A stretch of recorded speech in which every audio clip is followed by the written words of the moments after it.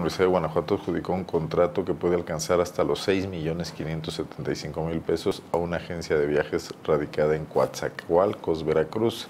Se llama Sur Istmo SADCB. Se hará cargo de la exclusividad en la compra de boletos aéreos nacionales e internacionales que requiera la institución en lo que resta del 2017. El Comité de Adquisiciones, Enajenaciones, Arrendamientos y Contratación de Servicios de la Universidad de Guanajuato llevó a cabo una licitación pública nacional que no se publicitó mucho, solamente a través de eh, los sistemas burocráticos normales, pero no en medios de comunicación, para contratar este servicio que se realizó bajo la modalidad de contrato abierto. El monto establecido mínimo fue de 2.630.000 pesos y el máximo de 6.575.000 pesos. Eh, para conocer más a detalle esta información, estamos en este momento tratando de localizar a mi compañera Tere Segura. La tenemos ya en la línea telefónica para que nos platique sobre la investigación que realizó. Tere, ¿cómo estás? Buenas tardes. Buenas tardes, Arnoldo. Buenas tardes al, auditorio. Pues vaya descubrimiento este, Tere, ir hasta Veracruz para establecer un contrato de, boletos aéreos para la Universidad de Guanajuato. Eh, cuando, bueno, pues en Guanajuato se supone que hay un auge del turismo y que debe haber muy eh, decentes y confiables empresas que puedan realizar esto, ¿no? Sí, llama la atención que sea una empresa, pues, veracruzana. Eh, debe haber muy... Sí, te escucho, te escucho, Carmen. Bueno, Tere, perdón, perdón, te escucho. Tenía acá una interferencia, pero ya. Ah, sí, te comentaba que llama la atención que sea una empresa veracruzana la que se lleva este contrato de hasta por 6 millones de pesos, alrededor de 6 millones de pesos, habiendo aquí en Guanajuato este, o en el Bajío, ya no nos vamos más allá, eh, empresas que podrían prestar este servicio, pero la UGE eh, eh, decide o determina que sea a que una empresa de otro estado. Este, también pues mm, eso fue una licitación pública, Arnoldo, pero sin embargo, en, investigando ahí un poco en, la página oficial de la universidad este, para, para ver cuántas empresas participaron, perdón. No hubo juntas de aclaraciones. Esto se hizo a través de Compranet, la plataforma del gobierno federal, ¿no? Para realizar, para transparentar licitaciones. Pero ahí yo, según recuerdo, van apareciendo los pasos que se siguen en el proceso. Esta vez no era así, Tere.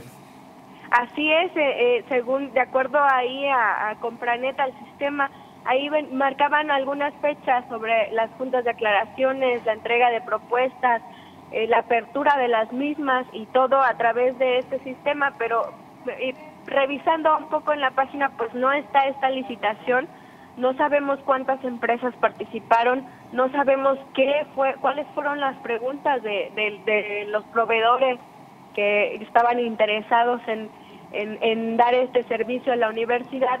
No, no sabemos este, nada eh, sobre esta eh, esta este, compra, esta adquisición. De Solamente que se le asignó a Surismo en Veracruz. así es, se llama Turismo en Veracruz y de acuerdo a la página de, de internet de esta empresa, este, está especializada en viajes de, de 15 años, ¿no? Es este, Tours a, pues, a, Europa sobre todo, que es donde les gusta ir a, a las quinceañeras, ¿no? Exactamente.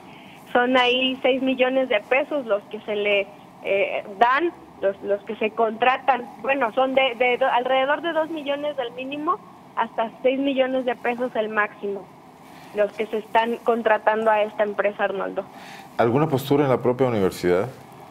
No, hasta el momento no ha habido ninguna postura habrá que estar pendiente, ¿no? Y sobre todo también cuál es el, grado de satisfacción de quienes son usuarios de estos viajes. Me imagino que son para eh, trabajos académicos, los, los alumnos que reciben algún tipo de apoyo, los maestros que salen a congresos, etcétera, ¿no? Así es, en el contrato viene especificado este que son los administrativos de cada uno de, las, de los campus los que pueden hacer es, eh, los que pueden pedir estos vuelos. No sé, en el contrato no hace detalla si alcanza, ya habría que verlo con una universidad, si alcanza a cubrir a, estudiantes también, yo me imagino que sí, cuando se trata de congresos y, y ese tipo de cosas, pero son administrativos, vienen ahí los nombres de los administrativos de cada uno de los campus de los que pueden hacer este la petición de estos de, de, de estos vuelos y también vienen ahí este em, la empresa tiene dio dio un este cómo se llama perdón un este una garantía firmó una garantía en caso de incumplimiento. Es del 20, 10% si no mal recuerdo del total del contrato 10% de la garantía en caso solo en caso de incumplimiento. Bueno, y lo que, lo que llama la atención, Tere, por otra parte, que no puede dejar de observarse, es que la Universidad de Guanajuato cuenta, creo que por primera vez en su historia, con un eh, secretario académico que es originario de Veracruz, un ex rector veracruzano. Bueno, puede ser una coincidencia, pero no deja de llamar la atención, ¿no? Raúl Arias Lobillo.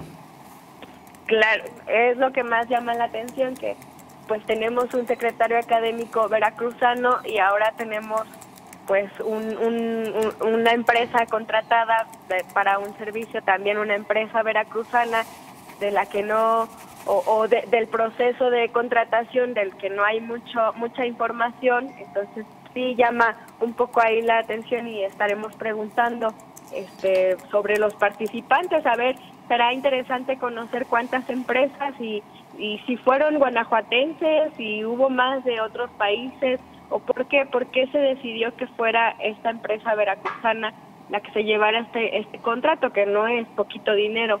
Licitación pública, yo creo que era nacional, ¿no? Tenía que ser eh, agencias de viajes del país, me imagino. Sí, sí, es, sí fue, fue una licitación nacional, pero ah, tendríamos que ver cuántas empresas fueron las que compraron las bases y hay guanajuatenses, las, las ofertas, lo que ofertaron estas empresas también y qué es lo que los llevó a, pues a contratarle a Surismo Muy bien. Veracruz. Ya, ya en algunas eh, posts o comentarios en Facebook eh, hay quienes nos están reclamando, lamentablemente pues gente que lo hace sin dar su identidad, de que por qué este tipo de notas, de que si estamos buscándole nada más el prietito en la rosa a la Universidad de Guanajuato. Yo creo que es información pública, información que vale la pena que conozcan los propios universitarios, son recursos públicos. Bueno, pues yo creo que para las buenas notas la universidad eh, hay suficientes espacios, ¿no? Y esto no tendría por qué ser una mala nota. Quizás Turismo está dando un servicio por encima de cualquier otra empresa y en ese caso se, se podría estar hasta ahorrando dinero, pero es bueno saberlo, que no permanezca eh, en la opacidad, ¿no?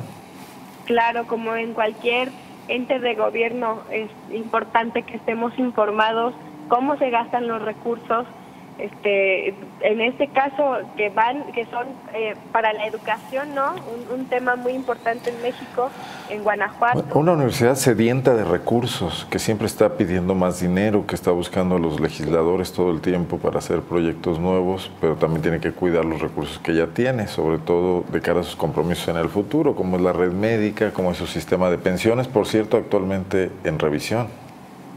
Además de eso y también su este su, lo que recientemente también informamos sobre el programa de austeridad no un programa de austeridad que se dio en medio de la crisis una crisis este, económica en el país y con, como en apoyo a los estudiantes. Y vemos por este lado también contratos de, de, de hasta 6 millones de pesos pues también queremos saber por qué 6 millones de pesos este, si fue la mejor oferta, o sea, también sabemos que son, son necesarios algunos viajes para, para congresos, para seguir eh, las investigaciones de los docentes, los intercambios de estudiantes, pero pues queremos saber si fue la mejor oferta que tuvo la universidad. Y los propios universitarios tendrían que estar interesados en esto, ¿no? sí, así es. Muy bien. Eh, Tere, pues muchas gracias por la información. Seguimos pendientes con, con este y otros temas en los próximos días. Gracias, Arnoldo. Buenas tardes. Muy buenas tardes. A lo mejor al rato nos volvemos a enlazar, ¿eh? porque hay temas ahí en el municipio también. Sí, cómo no. gracias, por lo pronto. Hasta luego.